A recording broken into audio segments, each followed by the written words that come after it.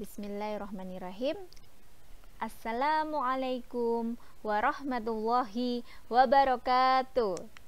Alhamdulillah, alhamdulillahirobbilalamin. Hari ini kita bisa berjumpa lagi insya Allah dalam keadaan sehat walafiat. Amin.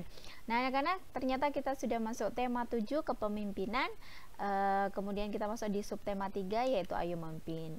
Untuk memulai kegiatan belajar, alangkah baiknya kita memulai dengan kegiatan berdoa terlebih dahulu. Nah, seperti biasa, sebelum kegiatan berdoa dimulai, mari kita tata sikap kita ya, mulai dari duduknya, kemudian adab kita berdoa ya. Kita tadahkan kedua tangan kita, kemudian kita membaca doa. Doa Bu Yuni pimpin dari sini, anak-anak di rumah mengikuti ya. بسم الله الرحمن الرحيم إلى هدرة النبي المصطفى رسول الله صلى الله عليه وسلم وعلى آله وأصحابه ودريته وأهل البيت الكرام وإلى هدرة الشيخ عبد القادر جيلاني وإلى هدرة الشيخ حجي هاشم أشعري وإلى مؤسسة تربية إسلامية كبنساري وإلى أساتذتنا والتلامذين ووالدينا لهم الفاتحة. أعوذ بالله من الشيطان الرجيم. بسم الله الرحمن الرحيم. الحمد لله رب العالمين. الرحمن الرحيم. مالك يوم الدين. إياك نعبد وإياك نستعين. اهدنا الصراط المستقيم. صراط الذين أنعمت عليهم غير المغضوب عليهم غير المغضوب عليهم ولا الضالين. Rabbi firli wali walidayya walil mu'minina amin. Dilanjutkan kita membaca doa sebelum belajar. Bismillahirrahmanirrahim. Raditu billahi rabba wa bil islami dina nabiyya wa rasulan rabbi zidni ilman warzuqni fahman waj'alni min ibadika salihin Kemudian dilanjutkan dengan membaca sholawat nariyah. Bisa dilakukan, bisa langsung dibacakan. Kalau di kelas kita biasanya uh, dengan nada khasnya M Islamnya ya. Bismillahirrahmanirrahim. Allahumma sholli sholatan kamilatan wassalim salaman taman ala sayyidina Muhammadin alladhi tanhalu bihil uqadu wa tawfariju bihil kurabu wa tuhadha bihi hawaiju wa tunalu bihi ibu wa husnul khawatimi wa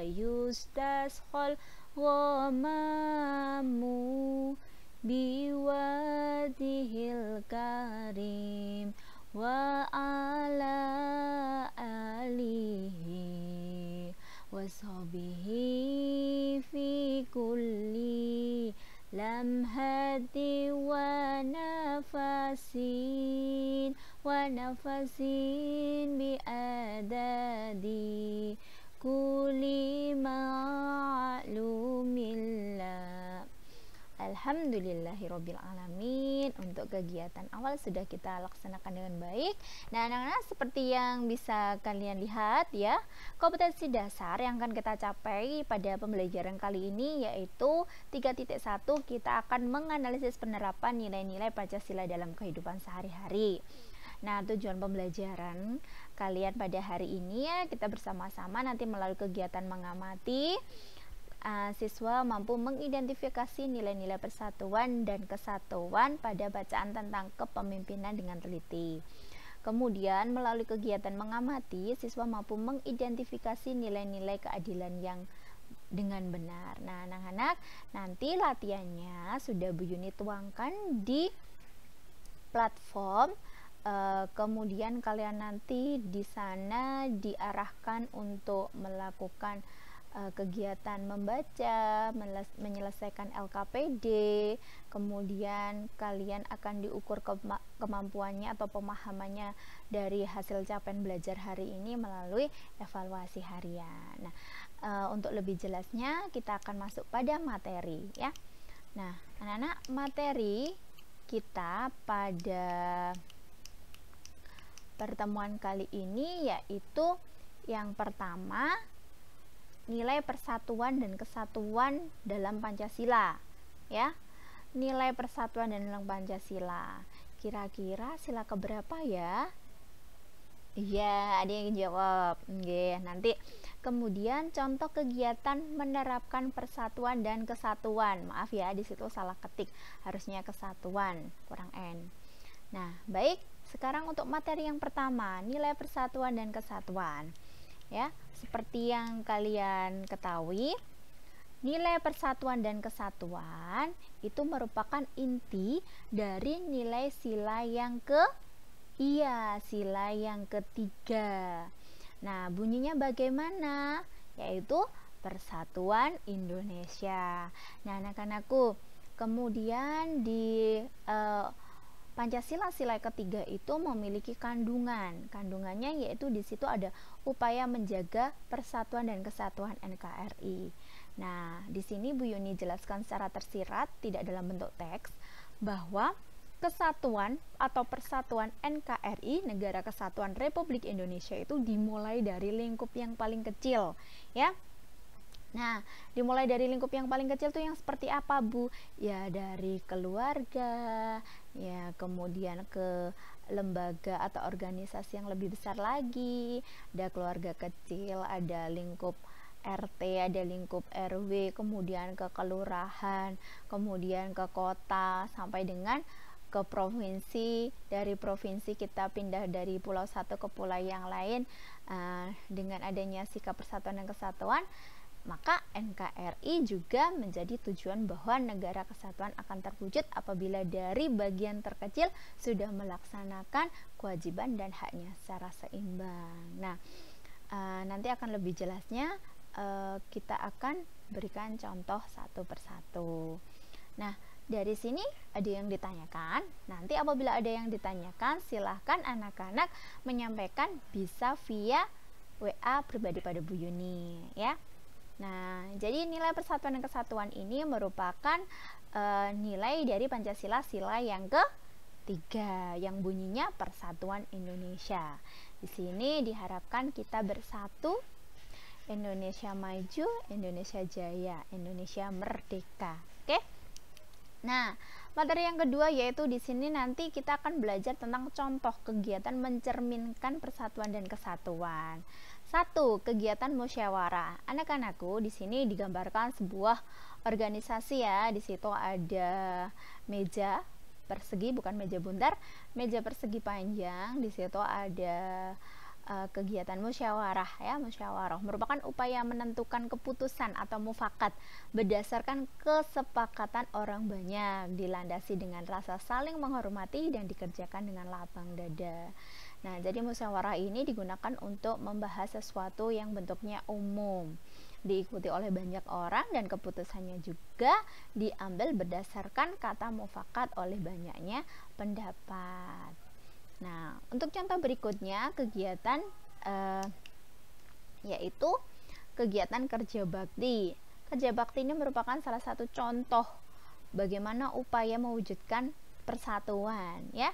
Jadi dari warga satu ke warga yang lainnya berkumpul menyelesaikan masalah di lingkungan tempat tinggal. Nah, kerja bakti ini merupakan upaya menyelesaikan suatu urusan umum, bisa berupa pekerjaan atau masalah secara bersama yang didasari dengan nilai sosial atau sayang terhadap sesama.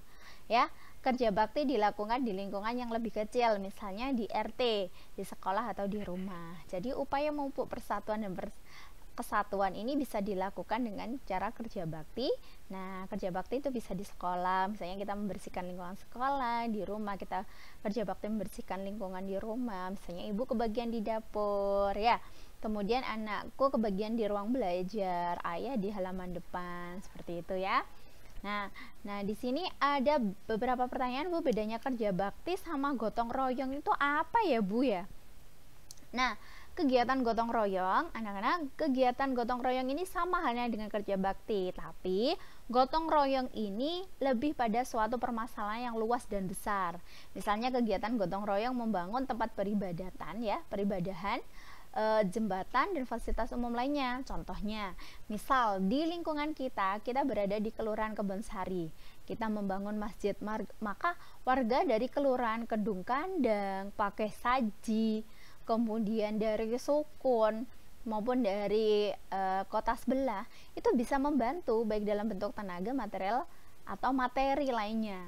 Hal ini berbeda dengan kegiatan kerja bakti. Kalau kerja bakti lingkungan RT, yang nggak mungkin warga kelurahan Kedung Kandang ikut kerja bakti warga kelurahan Kebon Sari. Misalnya di sini ada kerja bakti ya di lingkungan sekitar Islamia. Masa uh, orang dari pakai saji ikut saya kerja bakti membersihkan selokan di sini. Nah, di situ ya bedanya kalau gotong royong itu untuk kegiatan yang lebih besar atau lebih luas. Kalau kerja bakti itu uh, bisa untuk eh, hal-hal uh, yang dalam lingkungan kecil.